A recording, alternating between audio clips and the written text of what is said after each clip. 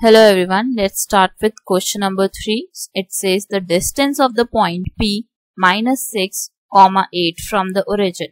तो यहाँ पे it is given it is origin. तो origin को हम क्या लेते हैं coordinate as a coordinate it is denoted as 0 comma 0. तो यहाँ पे आपके पास 0 comma 0 हो गया अब हमें फाइंड करना है origin और P तक का distance. So we need to use the distance formula as it is a coordinate.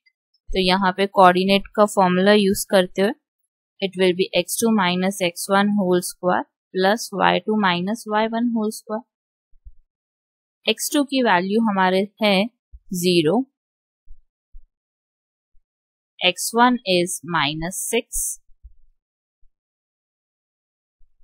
square plus y2 y2 is 0 again and y1 is 8 So it will be positive 6 whole square, it is 36 and minus 8 whole square, it is 64. So 36 plus 64 is 100 or you can write it as 10 square. Square and under root gets cancelled out so you get OP as 10 units. So your answer for question number 3 is C that is 10. Thank you for watching this. Please like, share and subscribe to our channel.